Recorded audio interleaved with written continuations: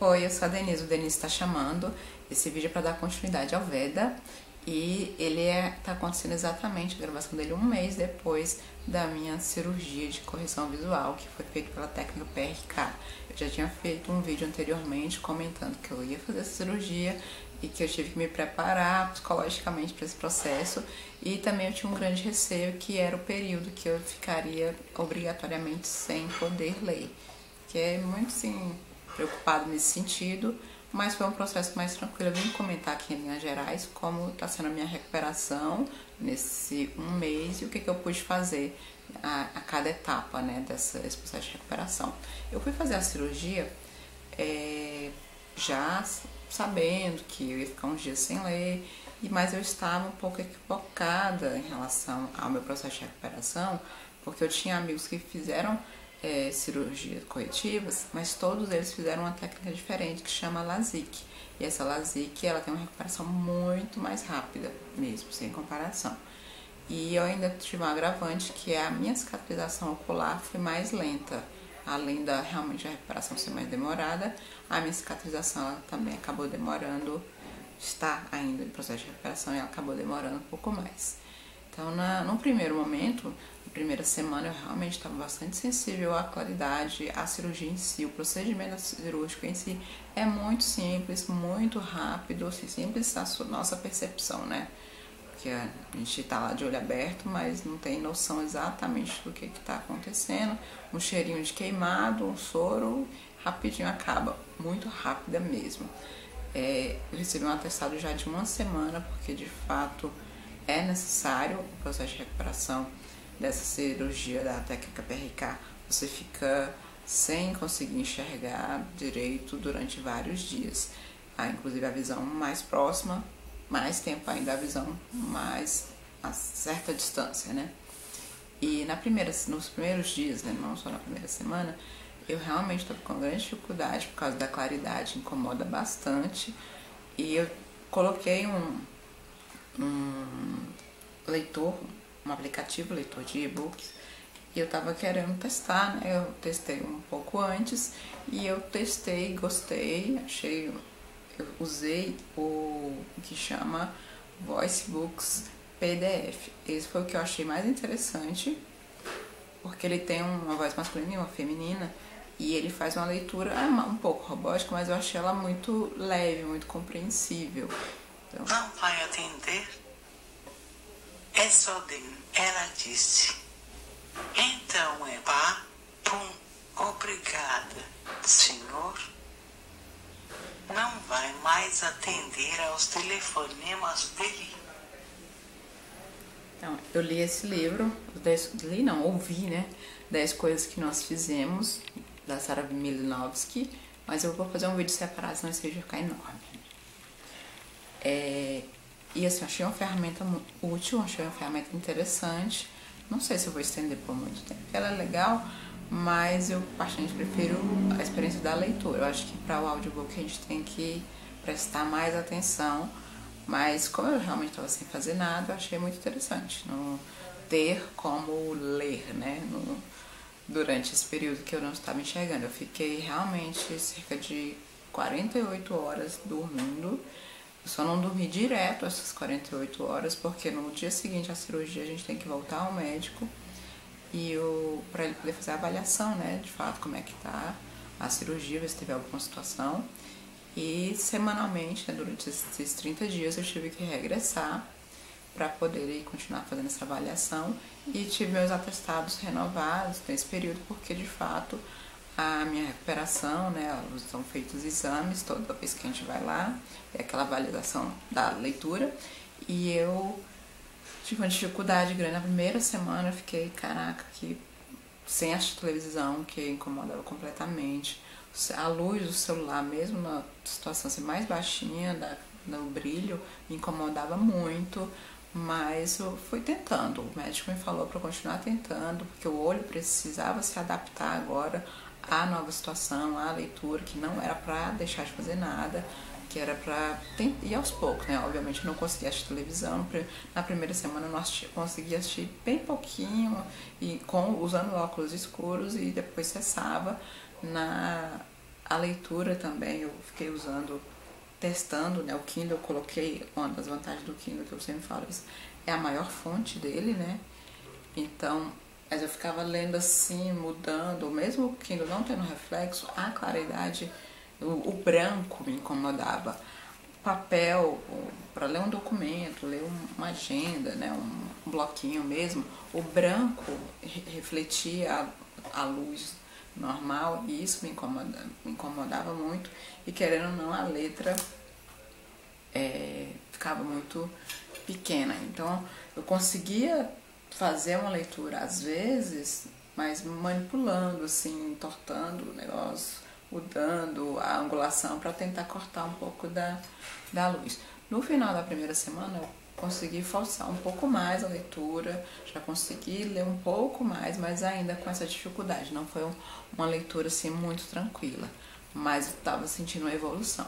Na segunda semana, quando eu regressei para na clínica para avaliação no hospital, né, na verdade, para avaliação ele tirou, quando a gente faz a PRK, eles colocam uma lente de proteção e ele tirou essa lente. Quando tirou essa lente, eu fiquei com a visão completamente embaçada. Nossa, eu assustei mesmo. Essa lente, a ideia é permanecer com ela né, durante os sete dias, mas ela pode acabar caindo no, na primeira semana. Tomei bastante cuidado, a gente fica com muitos colírios. Esse aqui foi o que eu mais usei, eu vou usar por cerca de três meses, que é o Optivion, é basicamente um lubrificante. Mas eu usei outros três, que é um. um até perdi o foco. É um antibiótico, um outro antialérgico e anti-inflamatório. E teve um outro que eu não me lembro o que, que ele era. Não, acho que um era antialérgico e o outro anti-inflamatório, né?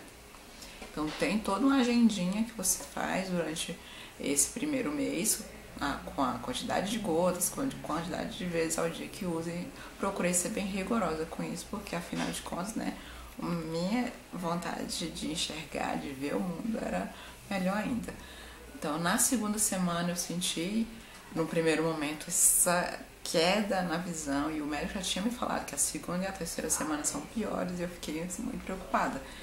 Duas semanas assim que para mim era para melhorar, né? De repente diminui, a visão, piora, né? E drasticamente. Fiquei assim muito preocupada. Mas já no final da segunda semana eu já estava conseguindo ler mais, conseguindo ler por mais tempo, então estava mais tranquilo. A televisão eu comecei a, assistir, assistir um programa inteiro, um seriado, um, um episódio de um seriado ou um filme e depois encerrava, que antes eu conseguia ver alguns trechos e não dava conta. Então já estava tendo alguma melhora, né? Na terceira semana eu já estava lendo bastante, muito bem, sem grandes incômodos. É, já conseguia acessar alguma coisa no computador, mas a claridade, a luz do brilho né, do computador ainda me incomodava bastante. E a do, a do celular estava me incomodando menos, mas ainda me incomodava também. Já na quarta semana, é, eu já estava sentindo a, uma melhoria ótima, assim, realmente na parte da visão de perto. Eu já conseguia usar o computador sem que isso ficava aquela claridade me incomodando absurdamente.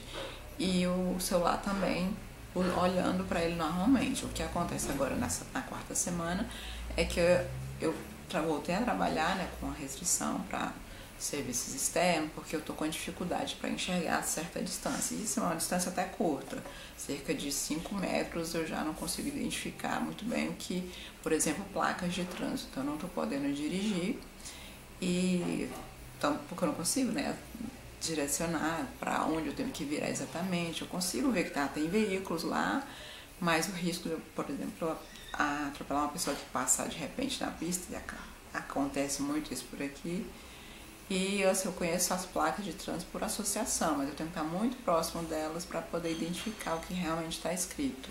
Mas a minha visão de perto está muito boa. Ah, usando o computador, por exemplo, para um trabalho administrativo, eu consigo usar durante vários momentos, né, várias horas, mas eu vejo que ao fim do dia, né, uns quatro, três horas da tarde, minha visão está cansada, então começa meio que a embaçar, para mesmo para a leitura no texto, mesmo fazendo a o uso do lubrificante. Então, assim, é tentar ter uma calma, porque mesmo a visão de uma pessoa normal, ela desgasta muito com o computador, o olho resseca bastante. Uma pessoa sem ter sido, áudio som, é claro, sem ter sido submetida à cirurgia. Mas eu estou muito satisfeita por estar conseguindo ler. Li vários livros nesse período, ficaram acumulados, porque eu não estava conseguindo é, nem tempo e nem gravar mesmo, porque eu não estava tolerando a, a luminosidade diretamente em mim durante o tempo, porque a, a gravação ela demora né, alguns minutos e fica a luz projetando-se assim, diretamente no meu rosto para a gente poder tentar fazer um vídeo mais claro. Então, agora um mês depois eu vim aqui tentar gravar alguns vídeos, até mesmo para tentar dar continuidade do, no Veda, né, para não flopar, né? E vamos ver. Então essa foi a minha experiência, eu continuo aplicando os colírios, já estou com, com a agenda para poder voltar ao médico, né, novamente, e tem, né, um período, vários acompanhamentos, achei assim muito importante, estou achando muito legal não usar óculos, estou torcendo para ter uma recuperação plena, para poder voltar a dirigir, que é uma coisa que faz muita diferença, dependendo de carona para ir para o trabalho, então, assim, eu acho que é uma coisa que a gente tem que ter bastante cuidado. É uma cirurgia que não necessariamente dá para a pessoa fazer, porque há uma interferência na. Pode haver uma interferência na rotina de trabalho da pessoa e gera uma certa dependência, né? Então, muito colírio, muitos cuidados, mas eu voltei a ser uma leitora, estou muito satisfeita. É realmente estranho, eu tenho um último hábito de ficar corrigindo assim o, óculos para levantar, porque pesava muito assim aqui, mesmo minha armação sendo bastante leve, me incomodava, e eu ficava levantando. E eu ainda tenho esse hábito inconsciente, fico levantando, vindo com a mão ao rosto para poder corrigir a posição do óculos, tô perdendo aos poucos. Então estou muito satisfeita de estar tá enxergando, espero que a minha visão fique ótima, podendo retomar essas atividades como um todo eu acho que vale a pena fazer a cirurgia sim, tem os cuidados a tomar, tem os procedimentos, toda a orientação né, do médico é, sobre esse procedimento.